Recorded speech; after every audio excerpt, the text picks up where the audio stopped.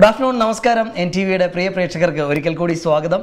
നമ്മുടെ ഹോളിവുഡിലൊക്കെ fast and furious ഒക്കെ എയ്ത്ത് എഡിഷനിൽ വന്നിരിക്കുന്നു. ജെയിംസ് ബോണ്ട് സീരീസ് ഇങ്ങനെ ഓരോ വർഷവും ഇറങ്ങിക്കൊണ്ടിരിക്കുന്നു. പക്ഷേ നമ്മുടെ മലയാളികൾക്ക് അഹങ്കരിക്കാൻ അഭിമാനിക്കാൻ ഒരേ ഒരു സീക്വൽ മാത്രമേ ഉള്ളൂ. നമ്മുടെ സ്വന്തം സേതുരാം അയ്യർ ഒരു സി ബി ഐ ഡയറക്ടർപ്പ് അതിന്റെ ക്രാഫ്റ്റ്മാൻ നമ്മുടെ എന്താ പറയുന്നത് ഇൻവെസ്റ്റിഗേഷൻ ത്രില്ലർ സിനിമകളുടെ കിരീടം വയ്ക്കാത്ത രാജാവെന്ന് തന്നെ നമുക്ക് വിളിക്കാം. നമ്മുടെ മലയാളികളുടെ പ്രിയപ്പെട്ട സംവിധായകൻ ശ്രീ കെ മധു സാറാണ് ഇന്ന് നമ്മളോടൊപ്പം അതിഥിയായി എത്തിയിരിക്കുന്നത് sir welcome to the show നമസ്കാരം. എൻ ടി വിയോടൊപ്പം ചേർന്നതിൽ ഒത്തിരി സന്തോഷം.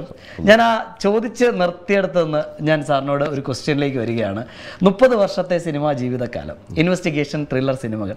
എന്തുകൊണ്ട് കെ. മധു എന്ന ക്രാഫ്റ്റ്സ്മാൻ ഒരിക്കലും ഒരു മുഴുനീള ഹാസ്യ ചിത്രത്തിലേക്കോ അല്ലെങ്കിൽ ഒരു മുഴുനീള സെന്റിമെന്റൽ ഡ്രാമ ചിത്രത്തിലേക്കോ പോകാതെ കംപ്ലീറ്റ് ഈ ഒരു ജനറൽ തന്നെ നിൽക്കുന്നു സർ ഹാസ്യ ചിത്രം മുഴുനീള ഹാസ്യ ചിത്രം എടുത്തില്ല എങ്കിലും ഓക്കെ എന്റെ സിനിമകളിൽ പഞ്ചുള്ള രംഗങ്ങളുണ്ട്. അതെ. ഇനി അതിൽ ആ പഞ്ചുള്ള രംഗങ്ങൾ കഴിഞ്ഞാൽ അതിപ്പം ജഗദീഷ് ശ്രീകുമാർ അല്ലെങ്കിൽ അങ്ങനെ ഉള്ളവർ ചെയ്യുന്നതാണെങ്കിൽ പോലും അതല്ല ഒരു ഹീറോ ചെയ്ത ഒരു നല്ല തമാശ ജനങ്ങൾ ആസ്വദിച്ച ഒരു സിനിമ സിനിമയുണ്ട് അധിപൻ. അധിപൻ മോഹൻലാൽ മോഹൻലാലിന്റെ. അതിലെ ഒരു ദൂരദർശൻ കേന്ദ്രം. ഒരു ഫുൾ ലെങ്ത് രണ്ടര മണിക്കൂർ അല്ലെങ്കിൽ ഇപ്പോഴത്തെ സമയത്ത് രണ്ട് മണിക്കൂർ പത്ത് മിനിറ്റോ ഒരു ഫുൾ സിനിമ കോമഡി എടുക്കുന്നതിനേക്കാളും ഒരൊറ്റ സീൻ മതി. ആ ഒരു ഒരു അഞ്ച് മിനിറ്റ് ഇപ്പോഴും എനിക്ക് തോന്നുന്നു ഇപ്പൊ ഡബ് സ്മാഷ് തരംഗങ്ങളാണ്. അതിലൊക്കെ ഏറ്റവും കൂടുതൽ കൂടുതൽ ആൾക്കാർ ചെയ്യുന്നത് ആ. ദൂരദർശൻ കേന്ദ്രമൊക്കെ വിളിച്ച് അതെ അതൊന്ന്. ഇരുപതാം നൂറ്റാണ്ട് ഇരുപതാം നൂറ്റാണ്ട് എന്ന് പറയുന്ന സിനിമയ്ക്കകത്ത് ലിഫ്റ്റിനകത്ത് വെച്ചുള്ള സീൻ ഓക്കെ ആ ഒരു അതെന്ന് വെച്ച് കഴിഞ്ഞാൽ നമുക്ക് എന്താ പറയുക അത്രയും ത്രില്ലിംഗ് ആയിട്ടുള്ള സീനുകൾ ഇപ്പൊ നമ്മൾ മിസ് ചെയ്യും ത്രില്ലിംഗ് അല്ല അതിനകത്ത് ഈ പറയുന്ന ഈ നർമ്മത്തിന് പ്രാധാന്യമുള്ള സിനിമ. ഓക്കെ അപ്പോൾ ഈ നർമ്മം ഞാൻ ഒരു മുഴുനീള ഹാസ്യചിത്രം ചെയ്യുന്നില്ല എന്നുള്ള ഒഴിവാക്കിയാൽ നർമ്മത്തിന് പ്രാധാന്യമുള്ള സ്ഥലങ്ങൾ നർമ്മമുണ്ട്. ഓക്കെ എല്ലാം ഉണ്ട്. ഈവൻ സെന്റിമെന്റ്സ് വരുന്ന ഒരുപാട് സിനിമകൾ എന്റെ വിജയിച്ച സിനിമകളുടെ എല്ലാം ബാക്കിംഗ് എന്ന് പറയുന്നത് അതുമായിട്ട് ബന്ധപ്പെട്ട കഥാപാത്രങ്ങളുടെ ഒരു ഇമോഷൻസ് ഇമോഷൻസ് തന്നെയാണ്. പക്ഷെ എന്തുകൊണ്ട് കുറ്റാന്വേഷണം എന്നുള്ളൊരു ചിത്രത്തിലേക്ക് തന്നെ സാർ അത്രയും ഇഷ്ടമാണോ ആ ഒരു ജനർ? അപ്പോൾ ഇദ്ദേഹം ആദ്യം ഇവിടെ പറഞ്ഞില്ലേ? എന്റെ ഇൻട്രൊഡ്യൂസ് ചെയ്തപ്പോഴും. അതെ. അത് തന്നെ ഞാൻ ആ സിനിമ ചെയ്യുന്നുണ്ടല്ലേ അതെ. അതിന്റെ അതിന്റെ ഉത്തരം. ശരിയാണ്. അതുകൊണ്ട് തന്നെയാണ് ശരിക്കും നമ്മുടെ കാരണം മലയാളികൾക്ക് അധികം എന്താ പറയുന്നത് അധികം കടന്നു വരാത്തൊരു മേഖലയായിരുന്നു അല്ലേ സാർ പ്രത്യേകിച്ച് സാറൊക്കെ എൻട്രി ചെയ്യുന്ന സമയത്ത് ഇങ്ങനെയുള്ള സിനിമകൾ വളരെ ചുരുക്കമായിരുന്നു. ഉണ്ട്. ഞങ്ങൾക്ക് മുമ്പിൽ ആ ആ സിനിമ എടുക്കുന്ന സമയത്ത് യവനിക എന്ന് പറയുന്ന സിനിമ എന്റെ സ്വാമിയുടെ മുമ്പിൽ ഓക്കെ. കെ ജി ജോർജ് സാറിന് ഞങ്ങളുടെയൊക്കെ ഞാനൊരു ഗുരുസാനിയായിട്ട് അദ്ദേഹത്തിനെ കാണുന്നത് ഓക്കെ. അദ്ദേഹത്തിന്റെ സിനിമയുണ്ട്. പക്ഷേ എന്റെ മനസ്സിൽ എന്റെ ഗുരുനാഥൻ ചെയ്ത പാടുന്ന പുഴ എന്ന് പറയുന്ന ഒരു സസ്പെൻസ് സിനിമ ഉണ്ടായിരുന്നു അതും കൂടെ എന്റെ മനസ്സിൽ കയറിയിട്ടുണ്ടായിരുന്നു അപ്പോൾ അതാണ് പിന്നെ ഞങ്ങൾ ഇരുപതാം നൂറ്റാണ്ട് കഴിഞ്ഞപ്പോൾ വ്യത്യസ്തമായ മേഖലയിൽ ഒരു സിനിമ ചെയ്യണമെന്ന് ആഗ്രഹിച്ചപ്പോൾ എസ് എൻ സ്വാമി ഉണ്ടാക്കിയ കഥയാണ്. സി ബി ഐ ഡയറക്ടറിലേക്ക് എത്തിയത്. സർ ശരിക്കും പറഞ്ഞു കഴിഞ്ഞാൽ എവിടെയോ സാർ പറഞ്ഞു കേട്ടിട്ടുണ്ട് ഒരു പണ്ടൊരു കെ മധു എന്ന് പറയുന്ന മെലിഞ്ഞുണങ്ങിയ ഒരു ചെറുപ്പക്കാരൻ ഒരു പോലീസ് വേഷത്തിൽ ഒരു നാടകത്തിൽ അഭിനയിച്ചിട്ടുണ്ട്. ഓക്കെ. അത് കഴിഞ്ഞ് അഭിനയത്തിലേക്ക് വന്നതിന് ശേഷം എവിടെയും ഒന്നാമനാവണം എന്നൊരു ആഗ്രഹം സാറിന്റെ മനസ്സിലുണ്ടായിരുന്നു. അപ്പോഴാണ് സംവിധാന സംവിധായകനാണ് ഒരു സിനിമയിലെ ഏറ്റവും വലിയ ആൾ എന്നുള്ളൊരു കൺസെപ്റ്റ് അങ്ങനെയാണോ സംവിധാനത്തിലേക്ക് എത്തുന്നത്? എനിക്ക് നിങ്ങളുടെ ഈ ചോദ്യങ്ങൾക്ക് തന്നെ ഒരു പുതുമ തോന്നുന്നുണ്ട് സത്യം പറയാം ഈ- ഇങ്ങനത്തെ ഈ ആ ഞാൻ ആറാം ക്ലാസ്സിൽ പഠിക്കുമ്പോൾ. ഹരിപ്പാട് ബോയ്സ് സ്കൂളിൽ ആറാം ക്ലാസ്സിൽ പഠിക്കുമ്പോൾ ഞാൻ ഞാനിപ്പോൾ ചെയ്യുന്ന സിനിമകൾ വെച്ച് നോക്കിയാൽ വേളൂർ കൃഷ്ണൻകുട്ടി എന്ന് പറയുന്ന ഹാസ്യ കഥാകൃത്തിന്റെ സിനിമയിലെ ഒരു പോലീസുകാരന്റെ വേഷമാണ് ഞാൻ ചെയ്യുന്നത്. സത്യം പറഞ്ഞത് എവിടെ കണ്ടുപിടിച്ചെന്ന് എനിക്കറിയില്ല. ഞങ്ങളുടെ ജോലി തന്നെ അതെ. അങ്ങനെയാണ് ആ സിനിമയിലോട്ട് വരുന്നത്. അതിനെനിക്ക് അന്ന് വളരെ അംഗീകാരം സ്കൂളിൽ നിന്ന് കിട്ടുകയും ചെയ്തു. ഓക്കെ. പിൽക്കാലത്ത് ആ മനസ്സിലെ ഒരു അംഗീകാരം മനസ്സിലെ ഒരു ആഗ്രഹം അഭിനയം എന്നുള്ളതുകൊണ്ടാണ് ഞാൻ എന്റെ എന്റെ സിനിമകളിലൊക്കെ ചില ചെറിയ വേഷങ്ങളൊക്കെ ചെയ്യുന്നത്. സപ്ലയർ ആയിട്ടൊക്കെ സപ്ലയർ ആയിട്ട് വരെ വരും. അതുപോലും പ്രധാനപ്പെട്ട വേഷമാണ് വേഷമാണ്, കാര്യം ഞാൻ എന്റെ സിനിമകളിൽ നിങ്ങൾ എന്റെ സിനിമകളിട്ട് നോക്കിയാൽ മനസ്സിലാക്കാം. അതിനകത്തെ ബാക്ക്ഗ്രൗണ്ട് മൂവ്മെന്റ് ഉണ്ടല്ലോ. അതായത് ഒരു ഒരു കോടതിയുടെ സീൻ എടുക്കുന്നു. പാസിംഗ് ഷോട്ട് പാസിംഗ് ഷോട്ട് അതിന്റെ ബാക്ക്ഗ്രൗണ്ടിലെ ആൾക്കാരെ അതിന് മാത്രം റിഹേഴ്സൽ നടത്തിയിട്ട് ഞാൻ ആർട്ടിസ്റ്റിനെ വിളിക്കത്തുള്ളൂ. ഓക്കെ അതുകൊണ്ടാണ് നിങ്ങൾ ഇനിയും ഞാൻ ഈ പറഞ്ഞതിന് ശേഷം അതൊന്ന് ശ്രദ്ധിച്ച് നോക്കുക. ആർട്ടിസ്റ്റ് പെർഫോം ചെയ്യുന്ന രീതിയിൽ തന്നെ അവരും പെർഫോം ചെയ്യും പറയും. എനിക്ക് തോന്നുന്നു ഇപ്പോഴത്തെ അങ്ങോട്ട് പോ ഇങ്ങോട്ട് പോ ഇങ്ങോട്ട് പോകും പറയാൻ. വളരെ അവർക്കും റിഹേഴ്സൽ കൊടുത്തിട്ടാണ് ചെയ്യുന്നത്. ഡയറക്ടർ തന്നെ രണ്ട് കാറ്റഗറിയാണ് ഒന്ന് നമ്മൾ അഭിനയിച്ച് കാണിച്ചു കൊടുത്ത് അഭിനയിപ്പിക്കും. രണ്ട് പറഞ്ഞ് അഭിനയിപ്പിക്കും. സാർ ഏത് കാറ്റഗറിയിലാണ് ഞാൻ പറഞ്ഞ് അഭിനയിപ്പിച്ചിട്ട് ആ. പറഞ്ഞ് അഭിനയിക്കുന്നത് എന്റെ മനസ്സിന് തൃപ്തിയാവുന്നതിനും വരെ അഭിനയിപ്പിക്കുന്ന ആളാണ് വീണ്ടും വീണ്ടും. ആ കാര്യം പോലെ ഇപ്പം ഫാസിൽ. ഹരിഹര സാർ ഒരു പരിധി വരെ കാണിച്ചു കൊടുക്കായിരുന്നു. ഫാസിലൊക്കെ അങ്ങനെ കാണിച്ചു കൊടുക്കും. പക്ഷേ ഞാൻ ഞങ്ങളെപ്പോലുള്ള ചില സംവിധായകർ ഈ ഒരു ഇപ്പം ഒരു കഥാപാത്രം ഉൾക്കൊണ്ടുകൊണ്ട് ഒരു ആർട്ടിസ്റ്റ് ചെയ്യുമ്പോൾ അത് ആ സംവിധായകന്റെ മനസ്സിൽ കൂടെ കയറണ്ടേ? അതെ. അപ്പോൾ സംവിധായകന്റെ മനസ്സിൽ ആ കഥാപാത്രം ഉണ്ടെങ്കിലേ ഉണ്ടെങ്കിലേ അതങ്ങനെ അഭിനയിക്കുന്ന അഭിനേതാവിലൂടെ അത് വെളിച്ചത്ത് വരുന്നുള്ളൂ അപ്പോൾ നമുക്കിപ്പം അഭിനയിക്കാൻ അറിയില്ലെങ്കിലും അഭിനയിക്കാൻ അറിയില്ലെന്നല്ല അഭിനയിച്ച് കാണിച്ചു കൊടുക്കുക എല്ലാ സീനുകളും. അഭിനയിച്ച് അവരുടെ മനസ്സിലോട്ട് ഇപ്പോൾ ഞാനൊരു ക്ലോസപ്പ് എടുക്കുമ്പോൾ ഈ സൈലന്റ് ആയിട്ട് ഈ ഓരോ റിയാക്ഷൻസ് വേണ്ടി ക്ലോസപ്പ് എടുക്കുമ്പോൾ എന്റെ എന്റെ രീതി ഓക്കെ അത് മുഴുവനായിട്ട് അതിന്റെ സീൻ പറഞ്ഞ് ഇത് എവിടത്തേക്കുള്ള ക്ലോസപ്പാണ് ആ ക്ലോസപ്പ് വേറൊരു ആ, സ്ഥലത്തേക്ക് ഷൂട്ടാവത്തില്ല ഓക്കെ അപ്പോൾ അങ്ങനെ തന്നെ ഞാൻ എടുക്കുന്നത്. ജനാർജനൊക്കെ എപ്പോഴും പറയും. ജനാർജനൊക്കെ അത് അതൊന്ന് പറഞ്ഞാൽ മതി ഇങ്ങനെ ഒരു കമന്ററി പോലെ പറഞ്ഞാൽ മതി ഞങ്ങൾ ചെയ്തോളാം എന്ന് പറയും അപ്പൊ അപ്പോൾ അതൊക്കെ നമ്മുടെ മനസ്സിൽ ആ കഥാപാത്രം ഉൾക്കൊണ്ടു. പക്ഷേ അഭിനയിച്ച് പൂർണമായിട്ട് കാണിച്ചു കൊടുക്കുന്ന കാറ്റഗറി പെട്ട ആളല്ല ഞാൻ. അല്ല ഓക്കെ സാർ ഏത് ആക്ടറെ വെച്ചിട്ടായിരുന്നു ഏറ്റവും കൂടുതൽ ബുദ്ധിമുട്ടി ബുദ്ധിമുട്ടി എടുത്തിട്ടുള്ളത് ഈ പറഞ്ഞ സാർ പറഞ്ഞു സാറിന്റെ മനസ്സിലുള്ളത് കിട്ടുന്നത് വരെ നമ്മൾ അഭിനയിപ്പിക്കും എന്നുള്ളത് ഒരുപാട് ടേക്ക് പോയ ഏതെങ്കിലും സീക്വൻസ് അല്ല അതിപ്പം സീക്വൻസ് എന്ന് പറഞ്ഞു കഴിഞ്ഞാൽ ഒരുപാട് ടേക്ക് പോയി എന്ന് പറഞ്ഞു കഴിഞ്ഞാൽ അതിപ്പം പ്രത്യേകിച്ച് അങ്ങനെ ഞാൻ ഓർക്കുന്നില്ല. അതൊക്കെ ആ- സമയത്ത് സമയത്തുണ്ടാകുന്ന ഇതില്ല? നമ്മളത് പിന്നെ ഓർക്കാം പലരും ഉണ്ട് പല പ്രത്യേകിച്ച് ഈ അന്യഭാഷയിൽ നിന്ന് വരുന്നവർ ഓക്കെ ഇപ്പം എന്റെ ഒരു പടത്തിൽ ചതുരംഗം എന്ന് പറയുന്ന പടത്തിൽ കുട്ടി എന്റെ നഗ്മ നഗ്മ പോലീസ് ഓഫീസറായിട്ട് അതെ അതെ അപ്പോഴാണ് നമ്മൾ കൂടുതൽ കഷ്ടപ്പെടുന്നത്. ഓക്കെ. പ്രത്യേകിച്ച് ലാംഗ്വേജിന്റെയും ഒരു പ്രശ്നം ഇപ്പോഴത്തെ നമ്മുടെ ഇപ്പോഴത്തെ അംഗീകരിക്കപ്പെട്ട നായകന്മാര് അല്ലെങ്കിൽ അതിന് അതിന് താഴെയുള്ള വേഷങ്ങൾ ചെയ്യുന്നവര് ഇപ്പൊ നിൽക്കുന്നവരെല്ലാം അവർക്ക് അത് ഉൾക്കൊള്ളാനുള്ള കഴിവുണ്ട്. അപ്പോൾ നമ്മൾ ഒരിക്കൽ പറഞ്ഞു കഴിഞ്ഞാൽ ഓക്കെ. അതവർ ചെയ്തോളും. ഓക്കെ. ചിലപ്പോൾ നമ്മൾ പ്രതീക്ഷിക്കുന്നതിനേക്കാൾ കൂടുതലായിരിക്കും. കൂടുതലായിരിക്കും. ഇനി അതല്ലാതുണ്ടെങ്കിൽ നമ്മൾ ചെറിയ മൈനർ കറക്ഷൻസ് മാത്രമേ അതിന് ആവശ്യം വരുന്നുള്ളൂ. ആവശ്യം വരുന്നുള്ളൂ. ഓക്കെ. സാറിന്റെ ചിത്രങ്ങളിൽ മുപ്പതിലധികം ചിത്രങ്ങളിലുള്ളതിൽ ഏറ്റവും കൂടുതൽ വന്നിരിക്കുന്നത് നായകനായി വന്നിരിക്കുന്നത് മമ്മൂട്ടി സാറാണ്. ലാൽ മോൽ മോഹൻ മോഹൻലാൽ സാറിനെ വെച്ചിട്ട് നാല് ചിത്രങ്ങളാണ്. അതിൽ മൂന്നും സൂപ്പർ ഹിറ്റ് അതിൽ ഇരുപതാം നൂറ്റാണ്ടെന്ന് പറയുന്നത് ആദ്യത്തെ ചിത്രം. അതെനിക്ക് തോന്നുന്നു നമ്മുടെ പുലിമുരുകൻ ഇന്ന് നൂറ് കോടി ക്ലബ്ബിൽ ഇടം നേടി റെക്കോർഡ് സ്ഥാപിച്ച് നിൽക്കുകയാണെങ്കിൽ നമ്മുടെ പ്രേക്ഷകർക്ക് അറിയാത്ത ഒരു കാര്യം ഇരുപതാം നൂറ്റാണ്ടെന്ന് ആയിരത്തി തൊള്ളായിരത്തി എൺപത്തി ആറിൽ രണ്ട് കോടി എൺപത്തി എൺപത്തേഴിൽ. എൺപത്തിയേഴിൽ രണ്ട് കോടി എന്ന മാർജിൻ ആദ്യമായിട്ട് ടച്ച് ചെയ്ത ഒരു സിനിമയായിരുന്നു. ആണോ സർ റെക്കോർഡ് ബ്രേക്ക് ചെയ്തൊരു യാതൊരു സംശയമില്ല ഇരുപത് നൂറ്റാണ്ട് മാത്രമല്ല. ഒരു ഒരു സി ബി കുറിപ്പ് എന്ന് പറയുന്ന അതിന്റെ ആദ്യത്തെ വെർഷനും ഇതേപോലെ ഇന്നത്തെ രണ്ട് അത് രണ്ടോ രണ്ടര കോടി റെക്കോർഡിലേക്ക് കളക്ട് ചെയ്ത ഇരുന്നൂറ് കോടിയിലൊക്കെ പോകുന്നത് ഏറ്റവും വലിയ ഗ്രോസ് കളക്ഷൻ സിനിമകളായിരുന്നു. അന്ന് ടിക്കറ്റ് റേറ്റ്സ് കുറവല്ലേ?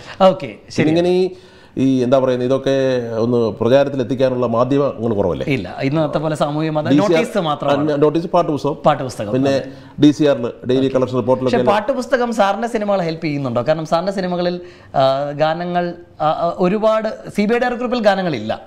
മറ്റു ചിത്രങ്ങളിൽ ഒരു ഗാനത്തിൽ കൂടുതൽ അധികം വന്ന സിനിമകളുണ്ടോ സർ? ഈ ഗാനങ്ങൾ ഇല്ലാതെ ഒരു സിനിമ ചിത്രീകരിക്കുക എന്ന് പറഞ്ഞാൽ ഒരു സംവിധാനം സംബന്ധിച്ചിടത്തോളം വലിയ വെല്ലുവിളിയാണ്. ഏറ്റവും വലിയ റിസ്ക് ആണ് അത്. റിസ്ക് എന്ന് പറഞ്ഞു കഴിഞ്ഞാൽ ഈ പിന്നെ ഞാൻ ചെയ്തിട്ടുള്ള സിനിമകളിലൊക്കെ തന്നെ അതിനൊരു എന്താ അതിനൊരു ഡൈവേർഷൻ സമയമില്ല. അതായത് ഒരു സീൻ നടന്നുകൊണ്ടിരിക്കുന്ന സമയത്ത് എന്നാ എന്നാൽ ഒരു പാട്ടാവാം. കുത്തിക്കേറ്റൽ. അല്ല കുത്തിക്കയറ്റുന്നുള്ളതല്ല അതിപ്പോൾ അല്ലാതെ സിനിമയുടെ ബന്ധപ്പെട്ട ഗാനങ്ങൾ എടുക്കുന്ന എത്രയോ സംവിധാനം അതിപ്പോ അതിപ്പോൾ നിന്നുള്ള എന്നുള്ള മാത്രമല്ല പക്ഷെ അതിനുള്ള സാഹചര്യമില്ല. കാര്യം ഒരാൾ ഇരുന്ന് കഴിഞ്ഞാൽ ഇപ്പം ഞാനിങ്ങനെ ഇരിക്കുന്ന പോലെ കുറെ കൂടെ മുമ്പോട്ട് ഇങ്ങനെ ഇരുന്ന് സിനിമ കാണുന്നതാണ് എന്റെ സിനിമ. അപ്പോൾ അതുകൊണ്ട് അതിനൊരു ഒരു എന്താ പറഞ്ഞാൽ ഒരു ഒരു ഒരു സാഹചര്യം ഇല്ലാത്തതുകൊണ്ടാണ് പാട്ട്. പക്ഷേ എനിക്ക് പാട്ട് വലിയ ഇഷ്ടമുള്ള ആളാണ്. പാട്ട് ആസ്വദിക്കുന്ന ആളാണ്.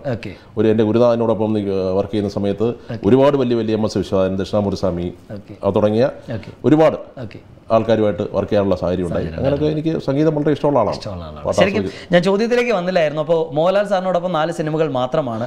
മമ്മൂട്ടിയാണോ സാർ കൂടുതൽ കംഫർട്ടബിൾ കെ മധു എന്ന സംവിധായകൻ നോക്കുമ്പോൾ അങ്ങനല്ല. എന്നെ സംബന്ധിച്ചിടത്തോളം ഞാൻ അവർക്കും അവർ എനിക്കും രണ്ടുപേരും ഒരുപോലെ. ഒരു വ്യത്യാസമില്ല പിന്നെ ഈ കൂടുതൽ സിനിമകൾ അങ്ങനെ മമ്മൂട്ടിയായിട്ട് ചെയ്ത് പോയി എന്നുള്ളതല്ലാതെ മോഹൻലാലിന്റെ കൂടെ കുറഞ്ഞ സിനിമകൾ ചെയ്തുകൊണ്ട് അതിന് ഒരു കംഫർട്ട്നെസ് കുറവാണെന്നൊന്നുമില്ല. രണ്ടും ഒരുപോലെ തന്നെ. എന്തുകൊണ്ട് പക്ഷേ കൂടുതൽ ചിത്രങ്ങളിലേക്ക് വന്നില്ല സാർ? അല്ലാതെ ഇപ്പം നമ്മൾ സാഹചര്യങ്ങളല്ലേ? നമ്മൾ നമ്മളും ഇപ്പോൾ സി ബി ഐ തന്നെ നാലെണ്ണം ചെയ്തില്ലേ? അപ്പൊ അപ്പോൾ അങ്ങനെ വന്നു കഴിഞ്ഞപ്പോഴത്തേക്കും ഒരു അടിക്കുറിപ്പ്. അങ്ങനെ ഈ കണ്ടിന്യൂസ് ആയിട്ട് പടങ്ങൾ ചെയ്തു. മോഹൻലാൽ ആയിട്ടുള്ള പടങ്ങൾ വേറെ അധികം അങ്ങനെ പെട്ടെന്ന് ചെയ്യാൻ സാധിച്ചില്ല എന്നുള്ളതല്ല? അല്ലാതെ വേറെ അതിനകത്ത് കാര്യങ്ങളൊന്നും ഉണ്ടായിട്ടില്ല. കാര്യങ്ങളൊന്നും ഉണ്ടായിട്ടില്ല. ശരിക്കും എനിക്ക് തോന്നുന്നു ഇപ്പോൾ യുവതാരങ്ങൾ എന്താ നമ്മുടെ പൃഥ്വിരാജും ഫഹദ് ഫാസലും ദുൽഖർ സൽമാനും എല്ലാവരും എത്തിയിട്ടുണ്ട്. പക്ഷേ ഇന്ന് വരെ സാർ ആ യുവതാരങ്ങളിലേക്ക് ഒരു സിനിമ കൊണ്ട് ചെന്നിട്ടില്ല. അല്ലെങ്കിൽ ഒരു സിനിമ വന്നിട്ടില്ല. സോ എന്തുകൊണ്ട് യുവതാരങ്ങളെ വിശ്വാസമില്ലാത്തത് കൊണ്ടാണോ? അല്ല. ആ. സീനിയർ താരങ്ങൾക്ക് അഭിനയിക്കാനുള്ള കഥ തന്നെ എന്റെ ഒരുപാടുണ്ട്. ഓക്കെ. അപ്പൊ അത് കഴിഞ്ഞതിന് ശേഷം ശേഷമാണ്. അത് കഴിഞ്ഞിട്ട് മതില്ല അപ്പോൾ അവർ ഇപ്പം സേതുരാമയ്യർ സി ബിയുടെ അഞ്ചാം ഭാഗം വരാൻ പോകുന്നത് ഓക്കെ. പക്ഷെ മമ്മൂട്ടി അതിനകത്ത് അദ്ദേഹത്തിന് ആ കഥാപാത്രം ചെയ്യാമെന്ന് എത്ര പ്രാവശ്യം പറഞ്ഞു അത്രയും പ്രാവശ്യം ചെയ്യാനുള്ള കഥകൾ ഞങ്ങളുടെ ഉണ്ട്. പിന്നെ പിന്നെ ഈ പറഞ്ഞ ചോദ്യത്തിന് പ്രസക്തി പ്രസക്തി ഇല്ല പിന്നെ അത് കഴിഞ്ഞതിന് ശേഷം മാത്രമേ നമ്മൾ പിന്നെ യുവതാരങ്ങളിലേക്ക് ഇപ്പം ദുൽഖർ സൽമാന്റെ ആരുമായിട്ടാണ് ഞാൻ ജോലി ചെയ്തത് ഓക്കെ. അച്ഛനുമായിട്ടാണ്. പൃഥ്വിരാജിന്റെ ആരുമായിട്ടാണ് അച്ഛനുമായിട്ടാണ് അതെ. പിന്നെ ഒരു ബന്ധം അങ്ങനെ ബന്ധം അങ്ങനെ ഒരുപോലല്ലേ ഓക്കെ അത് ശരിയാണ്. ശരിക്കും സാർ ഇപ്പോൾ എല്ലാ ഭാഷകളിലും സ്റ്റാർഡം എന്നുള്ളത് നിന്ന് വരികയാണ്. സ്റ്റാർഡം എന്നുള്ളൊരു കൺസെപ്റ്റ് തന്നെ എല്ലാ ഭാഷകളിലും നിന്ന് വരികയാണ്. പ്രത്യേകിച്ച് നമ്മുടെ കേരളത്തിൽ. അപ്പോൾ ഇനി ഉള്ള യുവതലമുറയിൽ നിന്ന് ഒരു സൂപ്പർ സ്റ്റാർ അല്ലെങ്കിൽ മെഗാ സ്റ്റാർ ആയിട്ട് ഉയർന്നു വരാൻ സാധ്യത കെ മധു എന്ന സംവിധായകൻ ആരെങ്കിലും കൽപ്പിക്കുന്നുണ്ടോ? അല്ലെങ്കിൽ സാധ്യത തോന്നുന്നുണ്ടോ? അല്ല തോന്നാനായിട്ട് ഇപ്പം ഞാൻ മാത്രമല്ല എന്നെ കൽപ്പന എന്റെ മനസ്സിലുണ്ട്. എന്റെ മനസ്സിലെ ധാരണയ്ക്ക് ഞാൻ ഉത്തരം പറയണമെങ്കിൽ കുറച്ച് നാളോട് കഴിയണം. ഓക്കെ. കാര്യം ഇപ്പം ഈ നേരത്തെ പറഞ്ഞ ഈ സ്റ്റാർഡം കുറഞ്ഞു വരുന്നൊന്നുമില്ല കേട്ടോ. മലയാളത്തിൽ ഒട്ടും പറ്റത്തില്ല. കാര്യം മലയാളത്തിൽ പറ്റത്തില്ല എന്ന് പറയാൻ കാര്യം അന്യഭാഷ ലാംഗ് അന്യഭാഷയിലെ കഥാപാത്രങ്ങൾ പോലല്ല. ഇവിടെ ഇപ്പം മമ്മൂട്ടി ചെയ്താൽ മാത്രം വിജയിക്കുന്ന സിനിമകൾ ഇപ്പോഴും ഉണ്ട്. ഇപ്പോഴും അതിനൊരു മാറ്റം വന്നിട്ടില്ല. അത് നോക്കി ചെയ്യണമെന്ന് മാത്രമേ ഉള്ളൂ. മോഹൻലാൽ അഭിനയിച്ചാൽ മാത്രം വിജയിക്കുന്ന സിനിമകളുണ്ട്. അപ്പൊ ഇനി മലയാളത്തെ സംബന്ധിച്ചിടത്തോളം ആ സ്റ്റാറിന്റെ നഷ്ടപ്പെട്ടുകൊണ്ട് പുതിയ തലമുറ എല്ലാവരും സ്റ്റാറായിട്ട് വരണമെന്ന് വിചാരിക്കണ്ട. ഇല്ല. അതിപ്പം തൽക്കാലം ഇവരുടെ തന്നെ സ്റ്റാർ ഓക്കെ. അവർ രണ്ടുപേരും കഴിഞ്ഞ് അല്ല? അതിപ്പം യാതൊരുവിധ എന്താ മറ്റേ ഒരു ബന്ധങ്ങളുണ്ടെന്നും പറയുന്നതല്ല. അല്ലെങ്കിൽ മറ്റെന്തെങ്കിലും സ്വാധീനിക്കാൻ വേണ്ടി പറയുന്നതല്ല. ഒരു പരിചയം ഇത്രയും നാളും ഒരുപാട് ജോലി ചെയ്ത ഒരു സംവിധാനം എന്നുള്ളത് പറയാം. എന്ന് ആ കൂട്ടത്തിൽ തന്നെ ഞാൻ പറയാം. ഈ വന്ന ഈ ചോദിച്ച ചോദ്യ ചോദിച്ച പേരുകളെല്ലാം ഓക്കെ. വളരെ രീതിയിൽ നല്ല രീതിയിൽ അവരുടെ ഒരു പെർഫോമൻസ് കാഴ്ചവെക്കുന്ന കുട്ടികളാണ് കുട്ടികളാണ് യാതൊരു സംശയമില്ല കാര്യം ഞാനിപ്പം പൃഥ്വിരാജ് എന്ത്- എന്ത്- എന്തെല്ലാം വേഷങ്ങൾ ചെയ്തു? ഇപ്പം നിവിൻ പോളി എന്തെല്ലാം വേഷങ്ങൾ ചെയ്യുന്നു? ദുൽഖർ സൽമാൻ. വളരെ എനിക്ക് ദുൽഖർ സൽമാനെയൊക്കെ എത്രയോ ചെറുപ്പത്തിൽ തൊട്ട് അറിയാവുന്ന ഞാൻ ആ ചെറുപ്പകാലത്ത് ഈ പയ്യന്റെ കുഞ്ഞുനാളിലൊക്കെ സിനിമ ചെയ്യുന്ന കാലത്തൊക്കെ എപ്പോഴും വീട്ടിൽ പോയിരുന്ന കഥ പറയുക ഡിസ്കസ് ചെയ്യുമ്പോൾ ഞങ്ങളുടെ മുമ്പിൽ കൂടെ യൂണിഫോം ഇട്ട് ഓടി തുടങ്ങിയ പയ്യനാണ് ഓക്കെ. ഞാൻ സാമിയും മമ്മൂട്ടി കൊണ്ടിരിക്കുമ്പോൾ ഞങ്ങളുടെ മുമ്പിൽ കൂടെ യൂണിഫോം ഇട്ട് ബാഗ് തൂക്കിക്കൊണ്ട് ഓടിപ്പോയ പയ്യനാണ് ദുൽഖർ സൽമാൻ. അപ്പോൾ പിന്നെ അവർ അവരൊക്കെ പ്രൂവ് ചെയ്ത് വരികയാണ്. അപ്പം അവർക്ക് അവരുടേതായിട്ടുള്ള വ്യക്തിത്വം ഉള്ള കഥാപാത്രങ്ങൾ ഞാൻ ഞാൻ ഞാൻ ഈ വേഷം ചെയ്ത് ഇന്ന് പൊതുജനത്തിന്റെ മുമ്പിലോട്ട് മനസ്സിലോട്ട് കയറിയ കഥാപാത്രങ്ങൾ പൃഥ്വിരാജിന് വന്നിട്ടുണ്ട്. ഓക്കെ. ഇവർക്ക് രണ്ടുപേർക്കും അങ്ങനത്തെ കഥാപാത്രങ്ങൾ ഇനിയും കിട്ടണം. ഇനിയും കിട്ടണം. മനസ്സിലായില്ലേ? ഓക്കെ. മമ്മൂട്ടിക്ക് മമ്മൂട്ടിക്കും മോഹൻലാലും കിട്ടിയ ഒരു മഹാഭാഗ്യം എന്ന് പറയുന്നത് അവർക്ക് എന്നും ഞങ്ങൾ മാത്രമേ ഈ ക്യാരക്ടർ ചെയ്താൽ വിജയിക്കൂ എന്ന് പൊതുജന മധ്യത്തിൽ നിന്നുകൊണ്ട് ഉറക്കെ പറയാൻ പറ്റുന്ന കഥാപാത്രങ്ങൾ കിട്ടിയിട്ടുണ്ട്. അത് കിട്ടണമെങ്കിൽ ഒരു കുറച്ച് സമയം വരും. പക്ഷേ ഈ തുടക്കത്തിൽ തന്നെ ഇത്രയും അവർ ജന മനസ്സുകൾ കയറണമെങ്കിൽ അവരുടെ ഉള്ളിലും കഴിവ് തന്നെ പിന്നെ ഇവർ രണ്ടുപേരും ഉള്ളപ്പോൾ ഇപ്പോൾ തൽക്കാലം മറ്റുള്ള ഒരാളിനെ പറ്റി ആ സ്ഥാനത്തെ കാര്യം വരുമോ എന്നുള്ളത് ജഡ്ജ് ചെയ്യാനാണെന്നുകൊണ്ടാണ് ഞാൻ നേരത്തെ പറഞ്ഞത്. സമയം കുറച്ചുകൂടെ വേണം. അല്ല ഇവരുടെ കഴിവില്ലായ്മയല്ല. ഓക്കെ മനസ്സിലായി. അപ്പോൾ ശരിക്കും സാർ ഇപ്പോൾ പറയുന്നുണ്ട് നമ്മുടെ എന്താ പറയുന്നത്? ഓൾഡ് ജനറേഷൻ ന്യൂ ജനറേഷൻ ഇപ്പോൾ എല്ലായിടത്തും കേൾക്കുന്ന ഒരു ടൈമാണ്. ന്യൂ ജനറേഷൻ സംവിധായകർ ന്യൂ ജനറേഷൻ സിനിമകൾ. എന്താണ്? സാറിന് അതിനെപ്പറ്റി അതിപ്പം അച്ഛനെ കുറച്ചാൾ കഴിഞ്ഞാൽ അപ്പൂപ്പാന്ന് വിളിക്കും. അമ്മയെ കുറച്ചാൾ കഴിഞ്ഞാൽ അമ്മൂമ്മയെന്ന് വിളിക്കും. അതൊക്കെ കാലഘട്ടത്തിന്റെ ഒരു ഇതാ. ന്യൂ ജനറേഷൻ ഓൾഡ് ജനറേഷൻ ഒന്നുമില്ല. സിനിമയ്ക്ക് ഒരു താളമേ ഉള്ളൂ. അതെ. അത് ന്യൂ ആണെങ്കിൽ കൊള്ളാം ഓൾഡ് ആണെങ്കിൽ കൊള്ളാം. ആ താളം തെറ്റിയ സിനിമ എടുക്കുന്ന ഒരു സിനിമയും ഓടത്തില്ല. ഓടത്തില്ല. സിനിമയ്ക്ക് ബേസിക് ഒരു താളമുണ്ട്. ഓക്കെ. മനസ്സിലായില്ലേ? സിനിമയ്ക്ക് ബേസിക് ഒരു തിയറി ഉണ്ട്.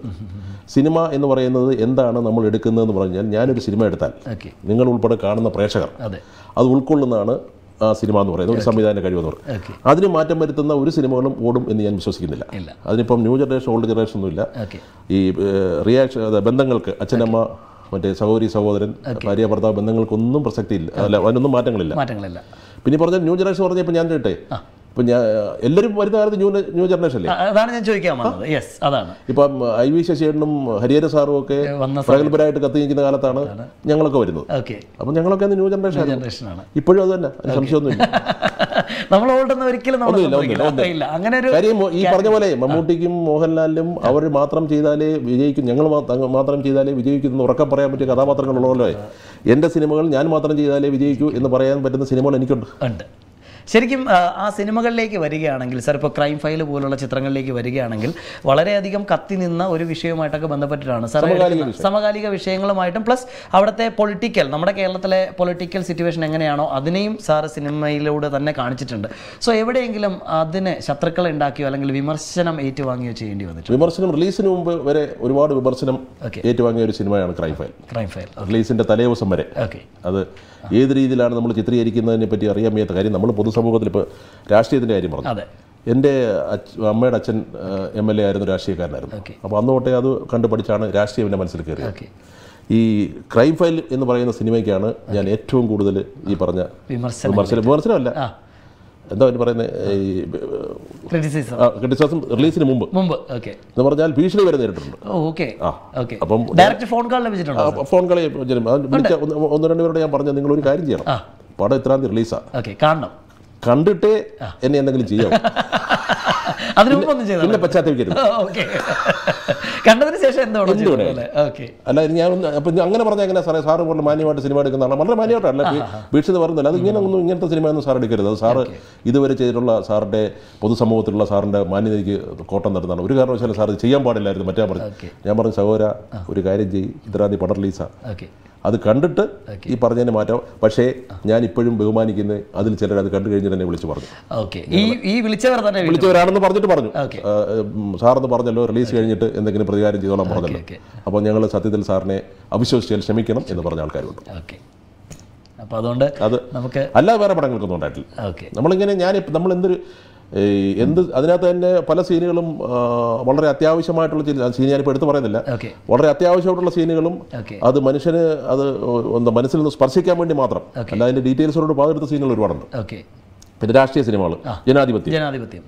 അങ്ങനെ അതൊന്നും എനിക്ക് എന്നെ എന്നെ സംബന്ധിച്ചിടത്തോളം ഇപ്പം ഞാനിപ്പോൾ ഫേസ്ബുക്കിൽ ഒരു പോസ്റ്റ് ഇട്ടാലേ അതിന്റെ താഴോട്ട് സി ബി ഐ എന്നാന്ന് ചോദിക്കുന്ന ആൾക്കാരെ കൂടുതൽ ഞാൻ അതിലേക്ക് വരികയായിരുന്നു. ശരിക്കും പറഞ്ഞാൽ സാറിന്റെ ഫേസ്ബുക്ക് പ്രൊഫൈലും ഉണ്ട് സാറിന്റെ ഒരു പേജും ഉണ്ട്. രണ്ടും ഞാൻ വിശദമായിട്ട് ചെക്ക് ചെയ്തു.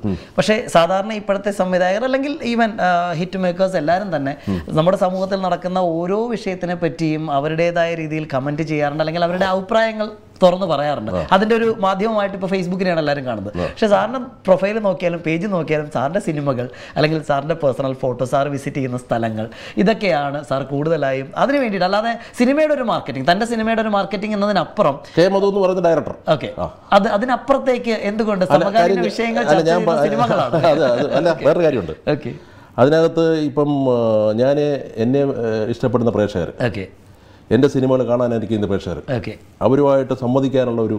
മാർഗമായിട്ടാണ് ഞാൻ ഫേസ്ബുക്ക് പേജും പ്രൊഫൈലും കണ്ടിരിക്കുന്നത്. സമകാലീന വിഷയത്തെപ്പറ്റി പ്രതികരിക്കാൻ അറിയാൻ കഴിഞ്ഞിട്ടോ? അതിൽ പേടിച്ചിട്ടോ ഒന്നും അതൊന്നും പ്രതികരിക്കേണ്ടത് ഈ ഫേസ്ബുക്കിലല്ല എന്നൊരു വിശ്വാസക്കാരനാണ് അതൊക്കെ പറയാൻ വേദികൾ വേറെ ഉണ്ട് ഇപ്പോൾ ആരെന്ത് ഫേസ്ബുക്കിൽ പ്രതികരിച്ചാലും ഏത് സമകാലീന വിഷയത്തെ പറ്റി ആരെന്തെങ്കിലും മറ്റേ ഫേസ്ബുക്കിൽ പ്രസിദ്ധീകരിച്ചാലും അവിടെ കൊണ്ട് നിൽക്കത്തുള്ളൂ സൊല്യൂഷൻ ഇല്ലാത്ത വിഷയത്തിനെ പറ്റി നമ്മൾ എന്തിനാ ആളുകളോട് മനസ്സി- അതാണ് എന്റെ വേറെ സൊല്യൂഷൻ ഇല്ലാത്ത കാര്യത്തിനെ പറ്റി കൂടുതലും സത്യാവസ്ഥ അറിയാതെയുമാണ് ഈ പറയുന്ന പ്രതികരണം അത് അതെന്ത് വായിക്കട്ടെ അതിപ്പോൾ ഓരോരുത്തർക്കും ഓരോ ഉദ്ദേശമല്ലേ? അപ്പം ഞാനിപ്പം എന്റെ ഫേസ്ബുക്ക് പേജിനകത്ത് പറയാൻ ഉദ്ദേശിക്കുന്നു പറഞ്ഞു കഴിഞ്ഞാൽ ഞാൻ ഇങ്ങനെ ഗെയിം എന്ന് പറഞ്ഞ സംവിധായകൻ.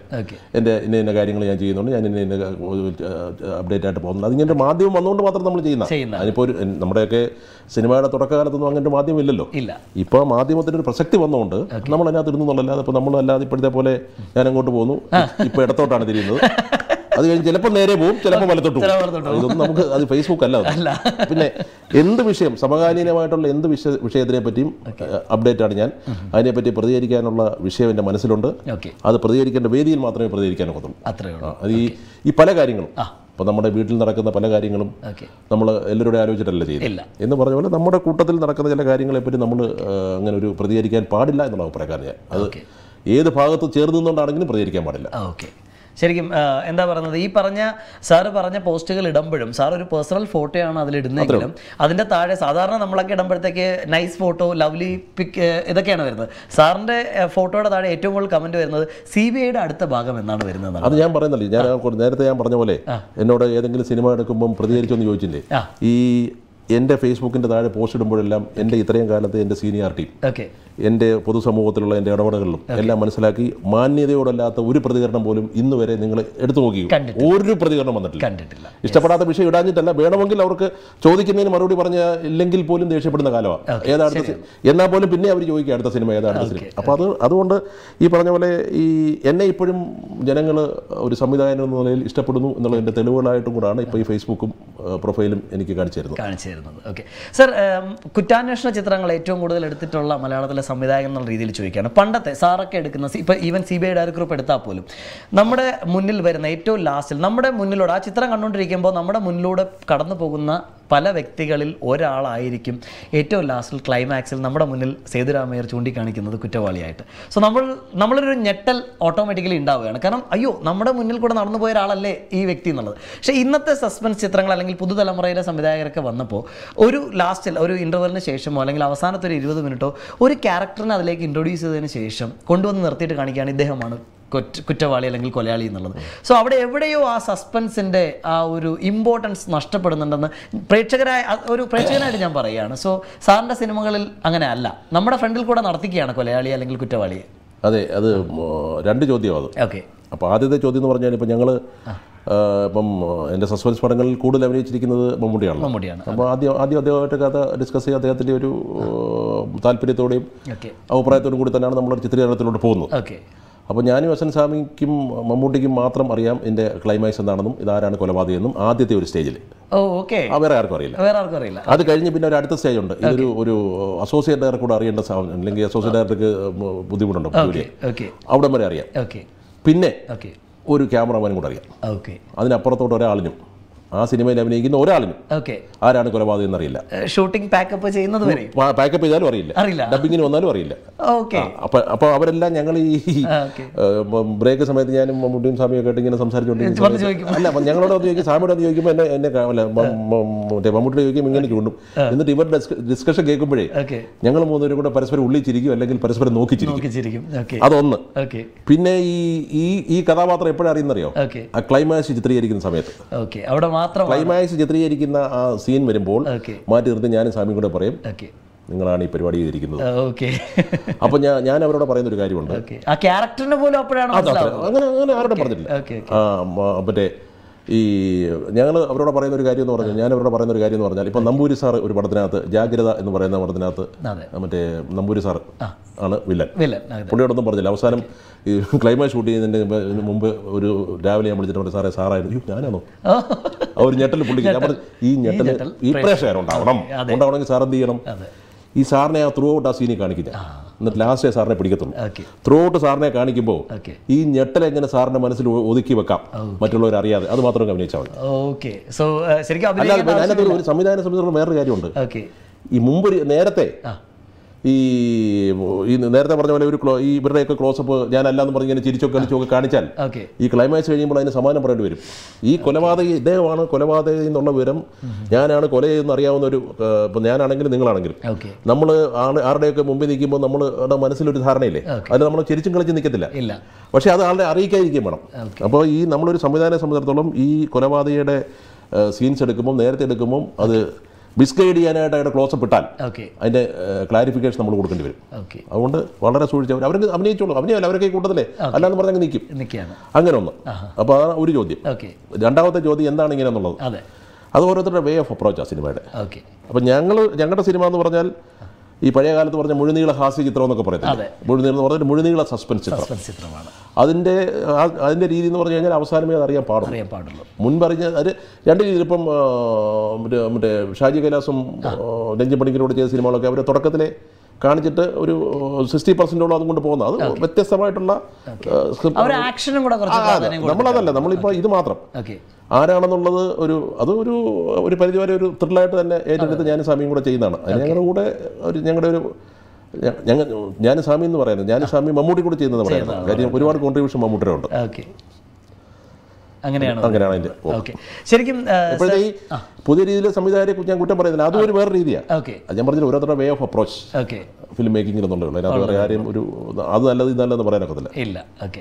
സാർ ശരിക്കും പറഞ്ഞു കഴിഞ്ഞാൽ ഇപ്പോൾ സാർ ഇപ്പോൾ പേരെടുത്ത് പറഞ്ഞുകൊണ്ട് ഞാൻ ചോദിക്കുകയാണ്. ഒരു പ്രമുഖ മാധ്യമത്തിന്റെ സർവേയിൽ വന്ന ഒരു കമന്റാണ് ഇപ്പോൾ ഈ പറഞ്ഞ കുറച്ച് സംവിധായകർ പഴയ ഹിറ്റ് മേക്കേഴ്സ് അവർക്കൊന്നും തന്നെ ഇപ്പോഴത്തെ തലമുറയെ സംതൃപ്തിപ്പെടുത്താൻ സാധിക്കുന്നില്ല. അല്ലെങ്കിൽ ഇപ്പോഴത്തെ തലമുറയുടെ ട്രെൻഡിനനുസരിച്ച് ഒരു സിനിമ ചെയ്യാൻ സാധിക്കുന്നില്ല. കാരണം അവർ അതിന്റെ പ്രൂഫ് നിരത്തുന്നുണ്ടായിരുന്നു. അവരുടെ ലേറ്റസ്റ്റ് പടങ്ങളെല്ലാം തന്നെ പരാജയങ്ങളായിരുന്നു. ഒരു വലിയ ഹിറ്റിലേക്ക് എത്തിക്കാൻ അവർക്ക് സാധിച്ചില്ല സ്പെഷ്യലി പറയുകയാണെങ്കിൽ അവർ തന്നെ അത് പേരെടുത്ത് സിബി മലയിൽ സാറുണ്ട് പ്രിയദർശൻ സാറുണ്ട് ഷാജി കൈലാസ് സാറുണ്ട്. അവർക്കൊന്നും തന്നെ പഴയ ഒരു ഹിറ്റിലേക്ക് ഇപ്പോഴത്തെ തലമുറയെ കൊണ്ടെത്തിക്കാൻ സാധിക്കുന്നില്ല എന്ന് പറയുന്നു. സോ അവർ ഉപയോഗിച്ചിരുന്ന ടേം എന്ന് പറയുന്നത് പല്ല് കൊഴിഞ്ഞ സിംഹങ്ങൾ എന്നായിരുന്നു ശരിക്കും എന്ത് തോന്നുന്നു സാർ? അങ്ങനെ ഒരു സാറും ഒരു പഴയ തലമുറയിലെ സംവിധായകനാണ്. പക്ഷേ ഇപ്പോഴും ജനങ്ങൾക്ക് മുമ്പിലേക്ക് സിനിമ എത്തിക്കുന്നുണ്ട്. സോ അല്ല അതിനകത്ത് ഈ പല്ല് കൊഴിഞ്ഞ സിംഹം എന്നുള്ള പ്രയോഗം തന്നെ തെറ്റാണ്. അതിനകത്ത് ഇപ്പം അതിൽ നിന്ന് ഒരാൾ വെളിയിൽ ചാടി. ഓക്കെ. പ്രിയദർശൻ. ഒപ്പം. അതെ മനസ്സിലായില്ലേ? അതെ. അല്ല അതിലൊരു അപവാദമായിട്ട് അവർ പറയുന്നുണ്ട്. ഇപ്പോഴും പഴയ തലമുറയിൽ നിൽക്കുന്ന ജോഷി സാർ.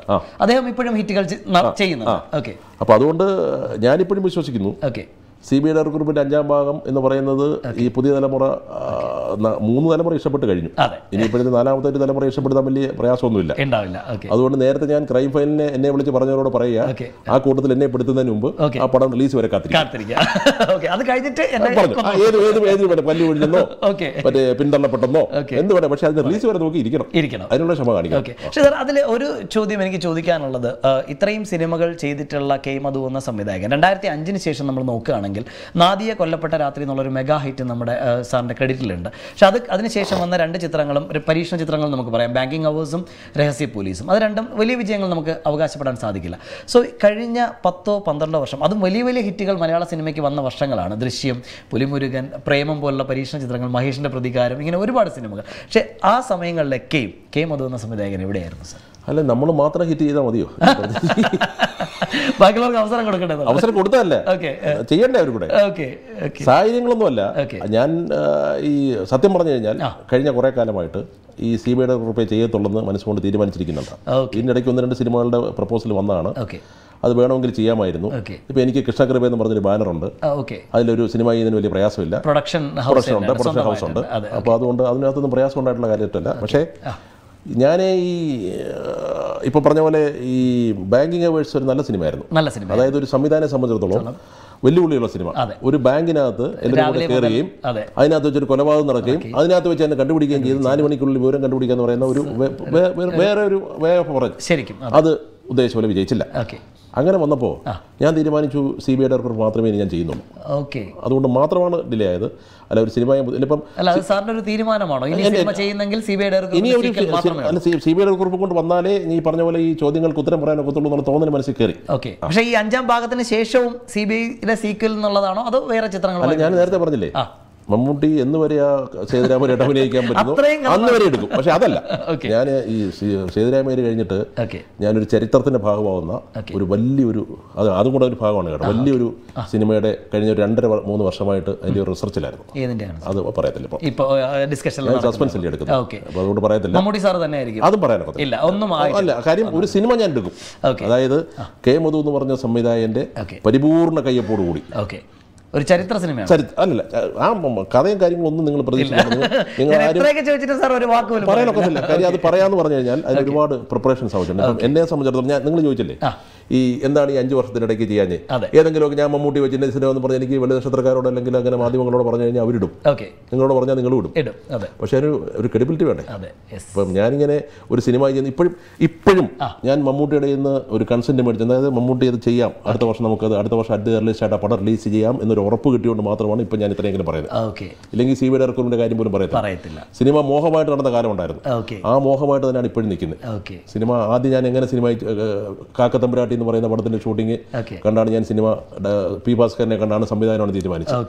എന്ന് പറഞ്ഞതുപോലെ നമ്മൾ ഇപ്പോഴും ആ മനസ്സിൽ ഇപ്പോഴും ആ പുതുമയോടുകൂടി തന്നെ ചെയ്യാം. പക്ഷേ ഈ പറയാവുന്ന സിനിമയ്ക്ക് ഒരുപാട് റിസർച്ചിന്റെ ആവശ്യം ഉണ്ടായിരുന്നു അത് അത് നിങ്ങൾ ഈ പറയുന്ന പോലെ ഈ പല്ലൊന്നും അല്ല ചില വെപ്പുപോലും അല്ലാത്തൊരു സിനിമ അപ്പൊ അപ്പോൾ അതുകൊണ്ടല്ലേ ഈ ന്യൂ ജനറേഷൻ സിനിമകൾ എന്ന് പറഞ്ഞു കഴിഞ്ഞാൽ കൂട്ടത്തിൽ ഞാൻ ഒരു കാര്യം കൂടെ ചോദിക്കാം. മുപ്പത് വർഷമായിട്ട് ഓർക്കുന്ന ഒരു ഇപ്പൊ മുപ്പത് വർഷമായാലും ന്യൂ ജനറേഷൻ വന്നിട്ട് മുപ്പത് വർഷം കഴിഞ്ഞാലും ഓർക്കുന്ന ഏതെങ്കിലുമൊക്കെ സിനിമ ഉണ്ടെങ്കിൽ അന്നേരം നമുക്ക് പറയാനൊക്കത്തുള്ളൂ. അതുകൊണ്ട് ഈ എഴുതുന്നവർക്ക് എന്തും എഴുതാം. അതിനെ ഈ ഇപ്പം കെ മധു അല്ലെങ്കിൽ സി ബി മലയിൽ അല്ലെങ്കിൽ പ്രിയദർശൻ എന്നൊക്കെ പറഞ്ഞ് എഴുതാം. പക്ഷേ അധിക്ഷേപിച്ച് എഴുതുക എന്ന് പറയുന്ന ഒരു രീതി നമ്മളാരും സത്യം. നമ്മൾ ഈ ഇപ്പം അതുകൊണ്ട് എനിക്ക് എനിക്ക് ധൈര്യമായിട്ട് പറയാവുന്ന ഒരു കാര്യം നാല് തലമുറ ഏറ്റെടുത്ത സിനിമയാണ് അഞ്ചാം തലമുറ ഏറ്റെടുക്കാൻ വരുന്നത്. അതുകൊണ്ട് അത് ഞാൻ ഇപ്പോഴും പരിപൂർണമായിട്ട് വിശ്വസിക്കുന്നു. ആ സിനിമയിൽ റിലീസ് ചെയ്യുന്ന ദിവസം കേരളത്തിലെ തിയേറ്ററുകളിലെ ഇതുവരെ ഉണ്ടാവാത്ത ജനപ്രളയമായിരിക്കും എന്നുള്ള കാര്യത്തിൽ യാതൊരു സംശയവും എല്ലാ റെക്കോർഡുകളും ബ്രേക്ക് അപ്പൊ എന്നെ ലിസ്റ്റിൽ പെടുത്തുന്നവർ അത് അത് വരും. സിനിമ അതെ ആ എഴുതിയ മാധ്യമങ്ങളും സർവേയും ഒക്കെ ആരാണെങ്കിലും. എന്തിന്റെ അടിസ്ഥാനത്തിൽ ആ സർവേ ചെയ്തെങ്കിലും കൊള്ളാം. അവരൊക്കെ സിനിമ കാണണം. രണ്ട് രീതിയിലും ആ സർവേ എടുക്കണം. പോസിറ്റീവായിട്ട് നെഗറ്റീവായിട്ട് എടുക്കണം. ഞാൻ അതിനെ പോസിറ്റീവായിട്ട് എടുക്കത്തുള്ളൂ. ഞങ്ങളോടുള്ള സ്നേഹം കൊണ്ടും ഞങ്ങളോടുള്ള ബഹുമാനം കൊണ്ടും ഞങ്ങൾ നല്ല രീതിയിൽ സിനിമകൾ ചെയ്തിരുന്നതുകൊണ്ടും ആണ് അങ്ങനെ എഴുതി എന്നുള്ള വിശ്വാസം കൊണ്ട് അതിനെ പോസിറ്റീവായിട്ട് അപ്പൊ അതുകൊണ്ട് ഒന്നും ഒരു കുഴപ്പമില്ല. നമ്മളെല്ലാം പോസിറ്റീവാണ് ഒന്നും നെഗറ്റീവായിട്ടൊന്നും ചിന്തിക്കേണ്ട കാര്യമില്ല അപ്പോൾ ഈ രണ്ട് സിനിമകൾ ഇപ്പോൾ എന്റെ കൈവശമുണ്ട്. മറ്റേ സിനിമയ്ക്ക് ഒരു രണ്ട് വർഷം വേണ്ടി വരുന്ന സിനിമയാണ്. തുടങ്ങിയാൽ.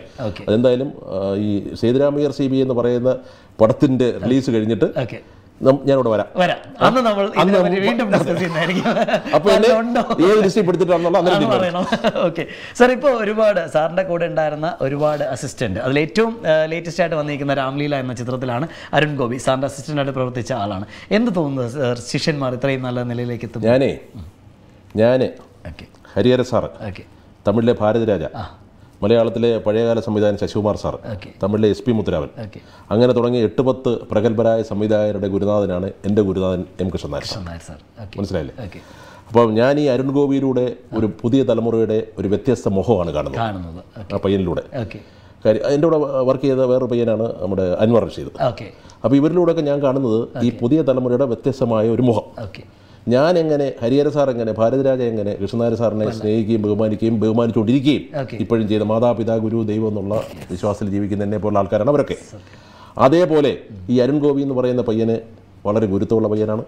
അവനൊരു ഒരു നല്ല ഫ്യൂച്ചർ മലയാള സിനിമയിലുണ്ട്. ആ പടത്തിന്റെ സ്വിച്ച് ഓൺ ചെയ്തത് ഞാനാണ്. അതുകൊണ്ട് അരുൺ ഗോപി എന്ന് പറയുന്നത് ഞാൻ ഞാനായിട്ടാണ് അരുൺ ഗോപിയെ കാണുന്നത്. കാണുന്നത്. ഞാൻ ഇവിടെ അവൻ ഇവിടെ വന്നതിന് ശേഷം ഞാൻ ഉണ്ടെന്ന് പറഞ്ഞിട്ട് പയ്യൻ എന്നെ വിളിച്ചിരുന്നു. ഓക്കെ. ഓരോ ദിവസങ്ങളും അതിന്റെ ഒരു പ്രത്യേക സാഹചര്യത്തിൽ പടം റിലീസായിരിക്കുന്ന സമയങ്ങളൊക്കെ ഞാൻ പല സമയത്ത് അങ്ങോട്ട് വിളിച്ചു. ഞാൻ പറഞ്ഞു "ഏഹ്, അരുണെ അരുണ് ദൈവം ഒരു ഭാഗ്യം തന്നു. ഒരു വലിയ സംഭവം ചെയ്യാൻ. ഓക്കെ. അപ്പോൾ അത് ഒരിക്കലും നെഗറ്റീവായിട്ട് വിചാരിച്ച് അരുണിന്റെ മനസ്സ് തളരരുത്.